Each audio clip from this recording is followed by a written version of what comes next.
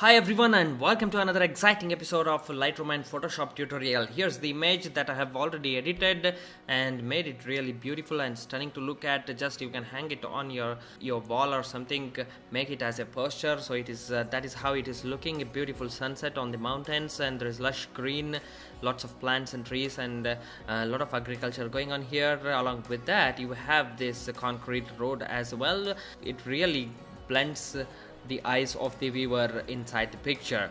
So here's the original picture original image that i took with the canon 80d at these settings. You can see the settings here and this is how the image looked at while I was taking. But you can do as uh, you want and I think I really like this kind of feel that we get uh, some sunset golden color glow because that's uh, what was going on there the golden hour after around 6 o'clock I, I think. So here's how it looked and that is how we are going to make this picture. So in order to do that first thing we need to uh, make adjustment is the crop. So here's the R button. You can press the shortcut key for uh, crop uh, selection. So here's that crop tool. You press on that and you'll get this uh, uh sort of cropped already cropped uh, selection area. So what you can do is to change this perspective. You can uh, go over here and you can use the following presets whatever you like. For now we are selecting 16 is to 9 aspect ratio. And once you have done that make sure you, the picture is horizontally aligned. So here's the horizontal align and um, uh, here we are following the uh, rule of third that means that uh, uh, whoever watches this image we have to drag them to certain parts of the area where it makes them look exciting or uh, some something emotional attached to the image. So that's what we are going to give uh, the viewer. So here's how I select the crop. I make sure everything is straight and proper uh, so even if there is a little bit of tilt we can adjust it later. Just double tap on it or double click on it. So here's the image for us in the 16 is to 9 aspect ratio. And as you can see the color white balance uh, there is a little bit of clipping on the magenta area here. We shall uh, rectify everything properly. So here's my workflow and how I work with this kind of picture every time. So the first thing you are going to increase is the shadow. As you can see there's a lot of black thing here and not visible properly. We will boost the shadow uh, like this and we will bring down the highlights because we need more detail over here from here. So that's why we need to reduce the highlights. Otherwise it will be blown out. That's uh, we don't want to blown out everything. So we will bring down the highlights and increase the shadows. And now what you want to do is to hold down the alt button on your keyboard and start increasing the white because white is a little bit on the left side inside the picture. So you want to bring uh, the whiteness so that everything is properly exposed.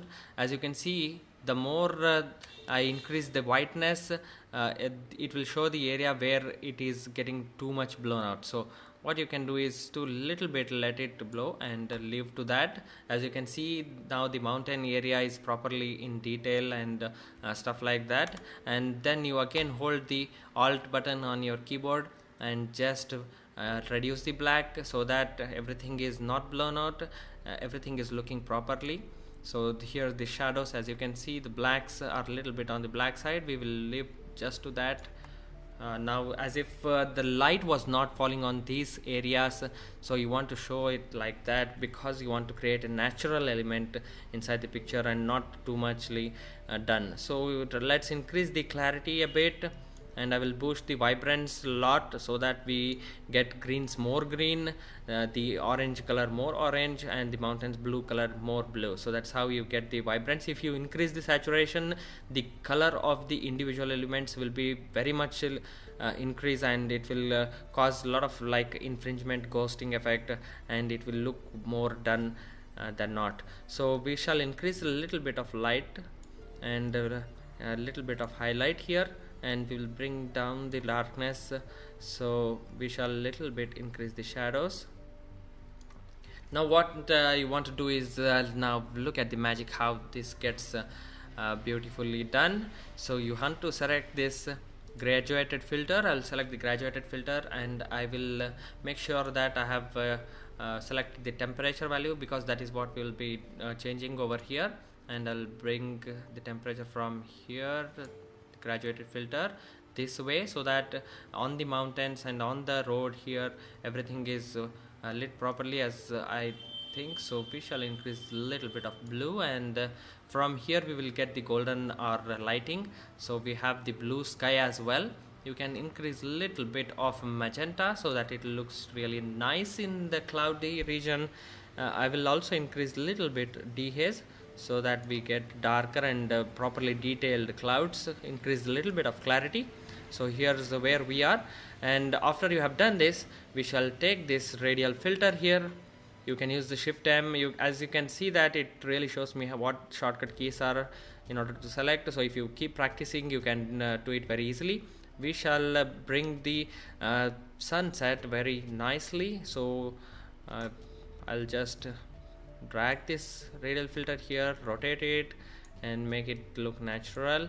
Here you have to invert so that only inside the circle what we want to change is affected not outside the circle. So just invert it and boost the feather to about 90% then what we want to do here is to see as you can see because I had selected temperature previously so it has uh, already increased the temperature to warmth so by default it will do as uh, it want and you can later change it. Just what that is what I'm doing here. So if you if you bring down to blue see how fake it looks and how unnatural it looks. So we want to bring that glow from the sun just to this much. You can a little bit bring down the highlight so that we get the star streaks uh, properly here. And I will uh, also increase the contrast. Bring down the exposure little bit and we will also increase the clarity here. All right so this is uh, where we are now and if I zoom in here as you can see there is a little bit of noise and a uh, little bit of color infringement going on here. To reduce that to remove that what you want to do is uh, if you have captured the image in the raw there will be option here to increase the noise reduction. First we will increase that and if you have captured the image in raw you you can remove the chromatic aberrations and you can even correct the perspectiveness and the distortion thing from enabling this profile corrections. See it chooses the camera lens automatically and by default it corrects the perspective and the distortion. And even there is no vignetting here. So this is how uh, the properly lit image looks. And uh, now uh, since the exposure is a little bit on the uh, more side I think you can little bit reduce the exposure like this and you can even reduce or increase the contrast to make it really hard impact on the uh, concrete surface here. Uh, so here's where we have uh, and uh, to remove this noise what you can also do is now you can see since I remove the chromatic aberration there is no infringement and aberrations uh, at all on the trees here. So if there is a lot of noise what you can do is to uh, take this brush tool from here and I will uh, choose the clarity and I will reduce the clarity and sharpness and you can just brush it over here so that the noise gets reduced and it looks really good. The clouds look soft and a uh, little bit dramatic as well. Now you can zoom in see there is uh, no not a lot of noise as it was previously. Now if you think the road side is too much again you can uh, use the R button or take the crop overlay and uh, just reduce a little bit here and double click on it. Now we have this beautiful image. Now what I want to do also is now as you can see there is a glare here. I want to remove that. You can use the spot uh, removal here. Just select the brush size from here. And once you select the brush size you can just uh, press on it click on it and it will select automatically the appropriate area it thinks. And you can remove these spots like this very quickly